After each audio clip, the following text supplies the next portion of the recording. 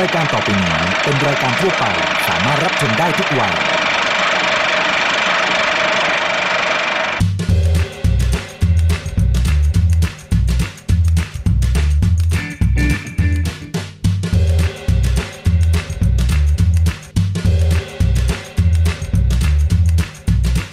สนับสนุนโดยผลิตภัณฑ์ผลไม้ฟรุตเบรดและน้ำเชื่อมแต่งกลิ่นตราเนเจอร์เทสส วัสดีครับ พบกับรายการอดเปรี้ยวกินหวานนะครับ รายการสำหรับสายหวานทุกคนนะครับ ที่จะมีเมนูขนมหวานอร่อยๆนะฮะแล้วก็เครื่องดื่มเย็นๆโดนใจมาฝากกันครับ แน่นอนนะฮะวันนี้ผมเท็ดดี้นะครับมาพร้อมกับเมนูแบบชื่นใจนะครับ กับเมนูกาแฟมะพร้าวปั่นครับ เอาละครับขั้นตอนการทำเมนูของเรานะครับกาแฟมะพร้าวปั่นนะครับเราจะเริ่มจากส่วนของมะพร้าวปั่นก่อนนะฮะหลาย ๆ คนเนี่ยชื่นชอบมากๆเลย เวลาเราไปตามร้านต่างๆ จะมีเมนูมะพร้าวปั่น วันนี้แหละฮะทุกเคล็ดลับเนี่ยจะถูกเปิดเผยนะครับมาขั้นตอนการทำไม่ยากเลยนะฮะขั้นตอนแรกนะครับเราจะเตรียมโถปั่นกันก่อนนะครับอะส่วนผสมมีนิดเดียวเท่านั้นละฮะอันแรกนะครับจะเป็นน้ำแข็งนะครับ จากนั้นนะครับอย่างที่บอกเลยนะครับ เราจะเริ่มจากส่วนผสมของน้ำมะพร้าวปั่นนะครับ ขาดไม่ได้จริง ๆ เนื้อมะพร้าวอ่อนครับ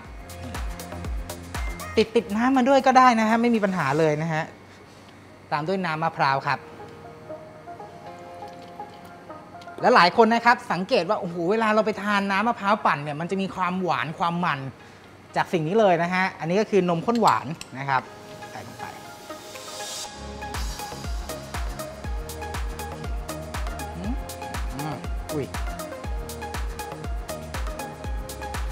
แล้วก็สุดท้ายนะครับ มันจะมันๆมากเลยอร่อยมากเลยนะฮะอันนี้เป็นนมข้นจืด เรียบร้อยครับ แค่ 3 4 อย่างเท่านั้นนะฮะส่วนของน้ำมะพร้าวปั่นของเราก็จะเรียบร้อยแล้วครับ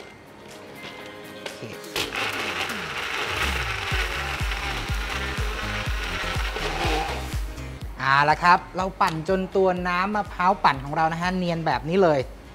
นะ คุณผู้ชมมาดูเนื้อพร้อม ๆ กันเลยแบบนี้เลยฮะ นี่ ตักเข้ามาปุ๊บ โอ้โหเป็นเขาเรียกว่าเนียนกริบนะครับ ความพิเศษของเมนูนี้นะฮะ คือเราจะเสิร์ฟในแก้วสูงๆแบบนี้ ปกติในเวลาเราทานกาแฟเราอาจจะมีใส่น้ำมะพร้าวอ่อนลงไป แต่วันนี้ฮะความกิ๊บเก๋ของเราก็คือจะเป็นน้ำมะพร้าวปั่น แล้ว top ด้วยกาแฟเอสเปรสโซ่ช็อตนะฮะ จะอร่อยจะหอมจะกลมกล่อมมากนะครับ ด้วยความที่ปากแก้วค่อนข้างแคบนะครับ ขออนุญาตตักทีละช้อน เอาละครับ ช้อนสุดท้าย สังเกตว่าผมจะไม่ได้ตักจนเต็มแก้วนะครับ เพราะว่าเราจะมีเอสเปรสโซ่ช็อตนะครับ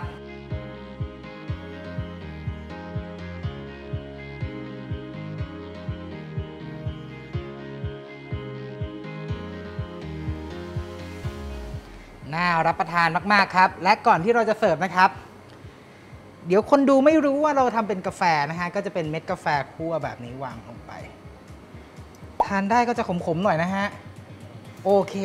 เรียบร้อยแล้วครับ กับเมนูสุดชื่นใจของเราในวันนี้นะครับ กาแฟมะพร้าวปั่นครับ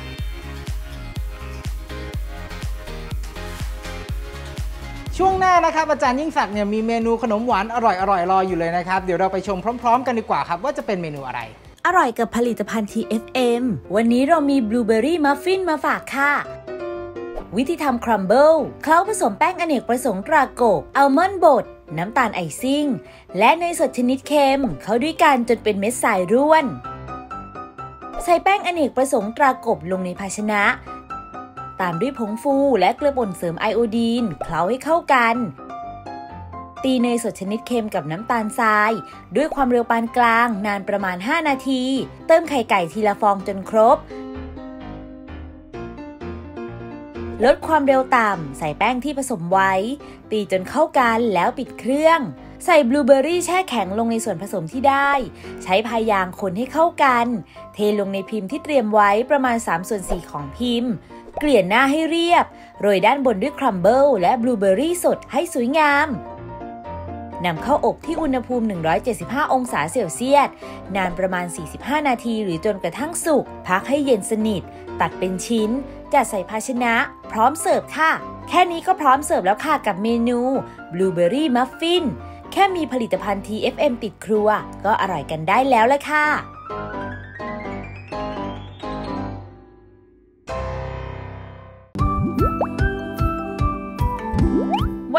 เมนูขนมหวานที่ดีต่อสุขภาพด้วยมิตรผล Lite Sugar อร่อยเต็มที่แคลอรี่นิดเดียว กับเมนูแพนเค้กกล้วยหอม สูตรนี้มีแคลอรี่จากมิตรผล Lite Sugar อยู่ประมาณ 112.5 แคลอรี่ ต่อแพนเค้กกล้วยหอมทั้งสูตร โดยทั่วไปหากเราปรุงด้วยน้ำตาลปกติ จะมีแคลอรี่จากน้ำตาลอยู่ที่ 300 แคลอรี่ เพียงแค่ปรุงด้วยมิตรผล Lite Sugarแคลอรี่จากน้ำตาลก็ลดลงไปถึง 62.5%เร เรามาทำแพนเค้กกล้วยหอมกันเลยค่ะ ใส่แป้งสาลีทำเค้กลงในภาชนะ ตามด้วยผงฟู เกลือป่นเสริมไอโอดีน มิตรผล Lite Sugar และผงอบเชย คนให้เข้ากันเตรียมไว้ ใส่กล้วยหอมบดละเอียดลงในภาชนะ ตามด้วยไข่ไก่และนมสด คนให้เข้ากัน ใส่ส่วนผสมแป้งที่เตรียมไว้คนให้เข้ากัน ใส่เนยสดชนิดเค็มละลาย คนผสมให้เข้ากัน เตรียมไว้ ทาเนยสดชนิดเค็มที่กระทะบางๆ ตักส่วนผสมแพนเค้กที่เตรียมไว้ใส่ตรงกลาง ทอดจนสุกทั้งสองด้าน จัดแพนเค้กกล้วยหอมใส่ภาชนะ ตกแต่งด้วยกล้วยหอมหั่นเป็นแว่น พร้อมเสิร์ฟค่ะ อย่าลืมนะคะมิตรผล Lite Sugar อร่อยเต็มที่แคลอรี่นิดเดียว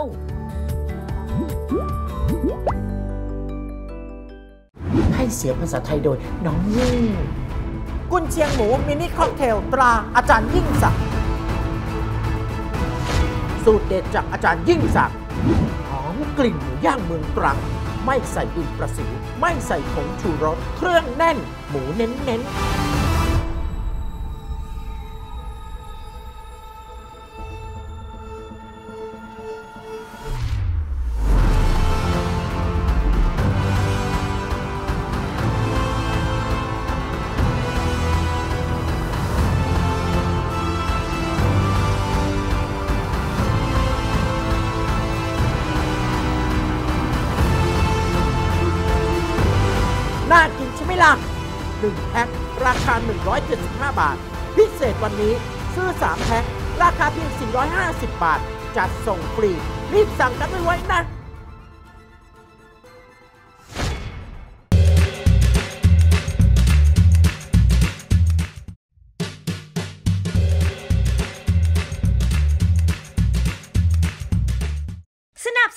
ยโลโบผงหมักไก่สไปซี่บิ๊กวิง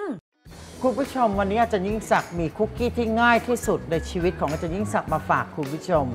นั่นก็คือคุกกี้เรนโบว์ที่บอกคุณผู้ชมว่าง่ายง่ายแล้วก็ง่ายที่สุดในชีวิตนั่นก็คือ ไม่มีพิธีรีตองอะไรเลย เดี๋ยวคุณผู้ชมลองดูสิครับ ใส่เนยลงไปคุณผู้ชม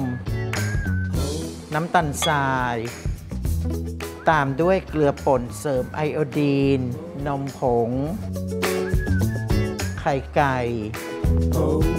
วันนี้ใช้แป้งสาลีสำหรับทำขนมปังมาทำคุกกี้เพราะสูตรนี้ต้องปั้นหลายขั้นตอน จึงใช้เป็นแป้งสาลีทำขนมปังตรายานอวกาศนะครับ ตามด้วยผงฟู คนส่วนผสมทั้งหมดให้เข้ากัน กดให้เนยเนี่ยเป็นชิ้นเล็กชิ้นน้อย แต่อย่าให้ถึงกับเนยละลายเละนะคุณผู้ชม พอส่วนผสมของเราเริ่มจะเข้ากันแบบนี้แล้ว เพิ่มกลิ่นหอมและสีด้วย Fruit Based Preparation ตรา Nature Taste คุณผู้ชมจะเลือกเอารสอะไรก็ได้เขามีหลายรส แต่วันนี้เราเลือกเอารสสตรอเบอรี่นะครับเราก็ตีผสมด้วยเครื่องมือถือนี่แหละแต่ใช้ความเร็วต่ำๆนะครับ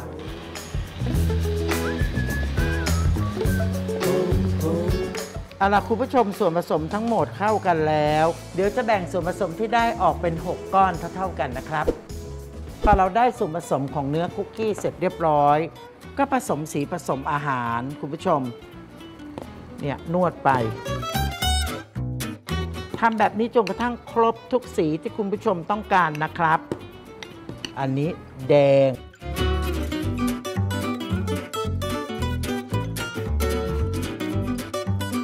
อะสีน้ำเงิน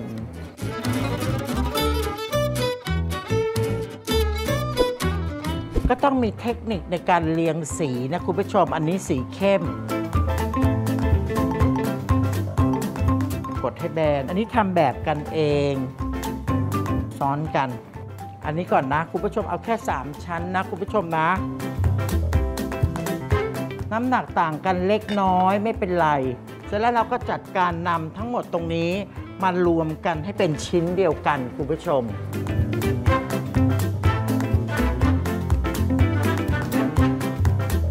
ตามเข้าอบเพื่ออุณหภูมิ 350 องศาฟาเรนไฮต์ครับคุณผู้ชม 12-15 นาที เดี๋ยวเรามาดูนะครับ ว่ามันน่ารับประทานขนาดไหนครับ อบสุกก็พักไว้จนกระทั่งเย็นสนิท แล้วก็เตรียมเครื่องดื่ม เย็นๆ ร้อนๆ ที่คุณผู้ชมชอบนะครับ น่ารับประทานมาก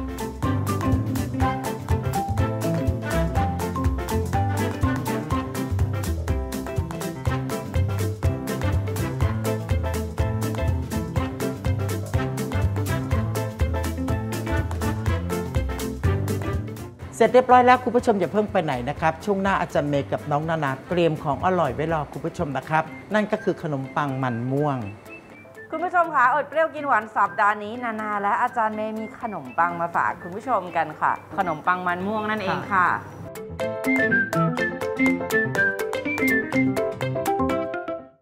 ช่วงอร่อยโดนใจสนับสนุนโดย ผงวุ้นตราหนางเงือก วันนี้ขอเสนอเมนูวุ้นไข่ผลไม้ ใส่ผงวุ้นตราหนางเงือกลงในภาชนะ เติมเจลาตินและน้ำคนให้เข้ากันพักไว้ 5 นาที เกร็ดความรู้การทำวุ้น การเติมเจลาตินจะทำให้วุ้นมีความยืดหยุ่น ช่วยทำให้เกาะกับผลไม้มากขึ้น และเมื่อแกะออกจากเปลือกไข่ จะได้วุ้นที่เงาสวยและไม่หักง่ายนำขึ้นตั้งไฟ คนตลอดเวลาจนส่วนผสมเดือดทั่ว ใส่น้ำตาลทราย คนจนน้ำตาลละลายและเดือดอีกครั้ง ปิดไฟพักให้อุ่น เตรียมไว้ค่ะ เรียงผลไม้ลงในเปลือกไข่ที่เตรียมไว้ หยอดวุ้นจนเต็มนำเข้าแช่เย็นจนทรงตัว แกะเปลือกไข่ออก พร้อมเสิร์ฟค่ะกับเมนู วุ้นไข่ผลไม้ เมนูโดนใจจากผงวุ้นตราหนังเงือก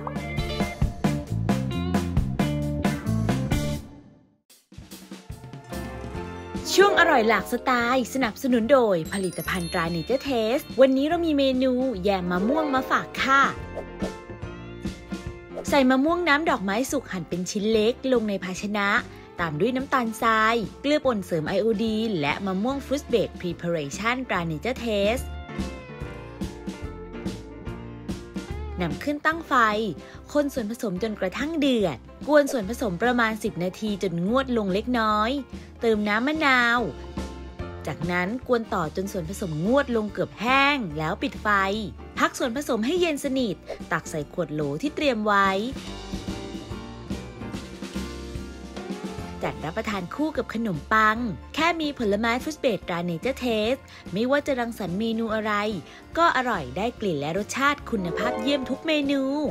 ผลไม้ fruit base ตรา Nature Taste ยังมีให้เลือกหลากหลายกลิ่น สามารถสั่งซื้อออนไลน์ได้แล้ววันนี้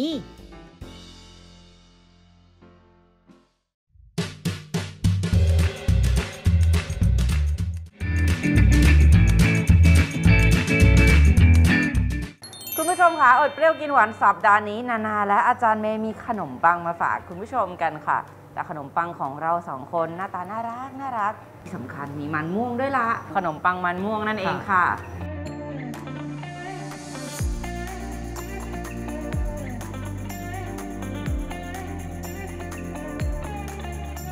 เนี่ยอาจารย์เมย์เตรียมเพื่อที่จะทำไส้ก่อน ใช่ ไส้ของเราเจ้าตัวนี้มาจากมาจากมัน ที่ล้างให้สะอาดแล้วนะ มีเปลือกนะ ไปต้มต้มจนกระทั่งนุ่ม จากนั้นปอกเปลือกออกเปลือกอืมเต็งก็ไปปั่นให้ละเอียด โอเคอะมันม่วงที่อร่อยเนี่ยคุณผู้ชมมาจากนี่เลยค่ะอัมพวากะทิแท้ร้อยเปอร์เซ็นต์คั้นทันทีตั้งแต่กระเทาะเปลือก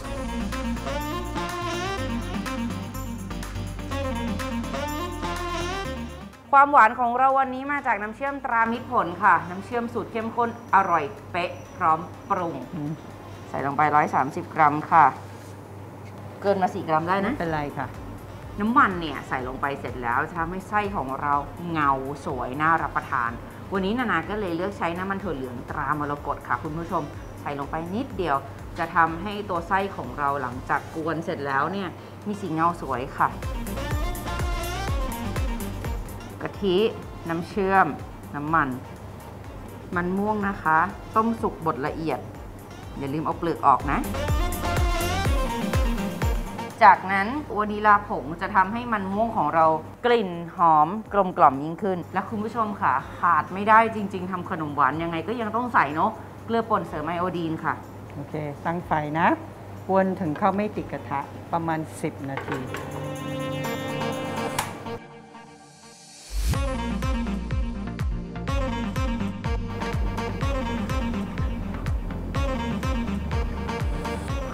มมากอะตอนนี้กลิ่นแบบใช่รู้เลยเป็นกลิ่นมันม่วง โอเคนะแล้วก็พอช่วงนี้นะ เราก็ปล่อยให้ก็เย็นก่อน เราก็ตีเนื้อขนมปังแล้วเราก็พอดีเลยเดี๋ยวมันก็เย็นโอเคโอเคนะอะปิดไฟ ส่วนผสมตรงหน้าเราจะเป็นขนมปังใช่เราจะมาทำเนื้อขนมปังกันก่อนอะขออนุญาต อืมเราจะแบ่งเป็นส่วนผสมแห้งกับส่วนผสมเหลว ส่วนผสมที่เป็นของเหลวจะมีไข่ไก่ อืม นานาใส่สีก่อน โอเค สีผสมอาหารสีม่วง น้ำเปล่า จากนั้นคุณผู้ชมเราจะคนส่วนผสมให้เข้ากันก่อน โอเค หลังจากใส่สีผสมอาหารใส่ไข่แล้วก็ใส่น้ำลงไป คนให้เข้ากันแล้ว เราจะใส่นี่เลย น้ำเชื่อมตรามิตรผลค่ะ น้ำเชื่อมสูตรเข้มข้นอร่อยเป๊ะ พร้อมปรุง จากนั้นใส่นมสดค่ะ เราใส่ยีสต์ลงไปในของเหลวของเราเลยนะ ได้ค่ะ เพราะว่ายีสต์เรามีน้ำตาลอยู่ในนี้ จากนั้นคนส่วนผสม ได้ของเหลวแล้วเรามาทำของแห้งกัน วันนี้ทำขนมปังมันม่วงแน่นอนค่ะ คุณผู้ชม เราใช้แป้งขนมปังตรายานอวกาศ สังเกตง่ายๆค่ะ แถบสีเหลืองตรงนี้พร้อมตรา TFM แล้วก็รูปยานอวกาศ นอกเหนือจากแป้งขนมปังแล้วคุณผู้ชม นานาใส่แป้งเค้กลงไปนิดหนึ่งแป้งเค้กของเราก็ TFM เช่นกันค่ะ แถบสีชมพูตรงนี้ตรา TFM และรูปริบบิ้นตรงนี้ สาเหตุที่ใส่แป้งสาลีทำเค้กลงไปเนี่ยนะคะ จะทำให้เนื้อขนมปังของเรานุ่มละเอียด แป้งสองชนิด มันม่วงของเราที่ต้มสุกบดละเอียด สาเหตุที่เราแยกทุกอย่างมาทำตรงนี้ก่อน เพราะเดี๋ยวเราจะใส่เครื่อง เดี๋ยวกลัวคุณผู้ชมเห็นไม่ชัดวานิลาผงนะคะ เกลือป่นเสริมไอโอดีนค่ะ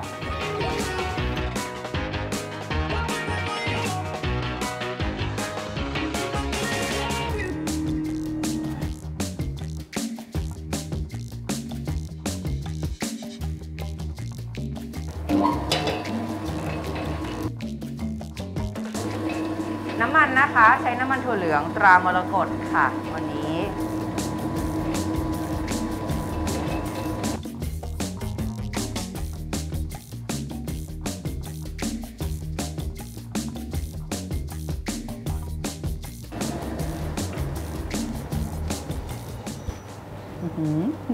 ปัง เนื้อขนมปังดีมากอะ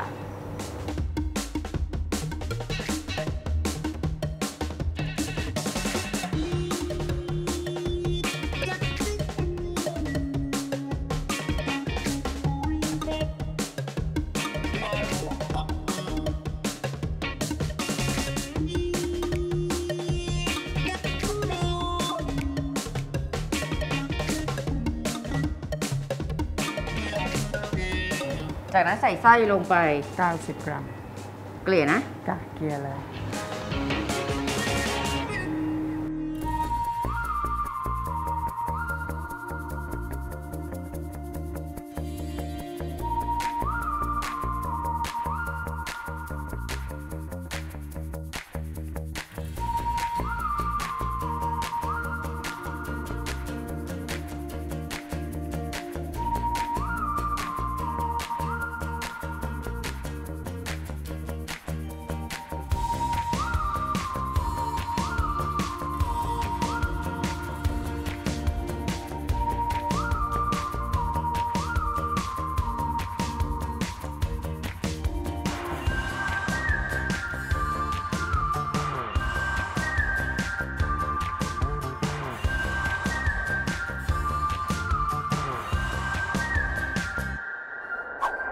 ความเงา แล้วก็ความน่าทานมากยิ่งขึ้น นิดเดียวนะอย่าเยอะเราสองคนใช้น้ำเชื่อมตรามิตรผลค่ะ น้ำเชื่อมสุดเข้มข้นอร่อยเป๊ะพร้อมปรุงทาหน้าเขาด้วย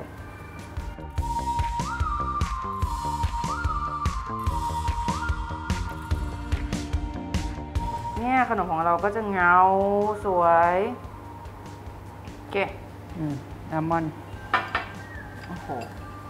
เพิ่ม texture เวลาเคี้ยว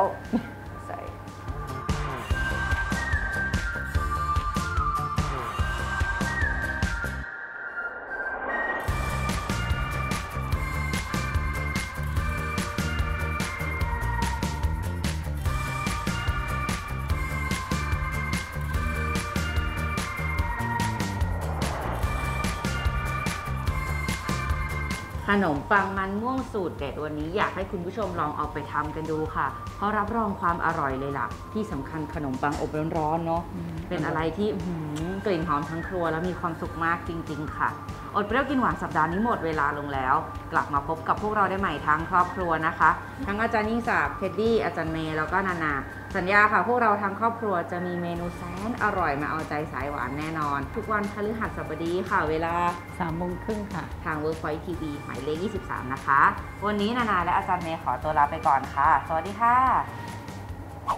แน่นอนเลยครับ วันนี้ผมบอกว่าเมนูเครื่องดื่มเย็นๆเนี่ยวันนี้อลังการมาก เพราะว่าเมนูของเราก็คือครูฟินแอนด์มิลเชคครับ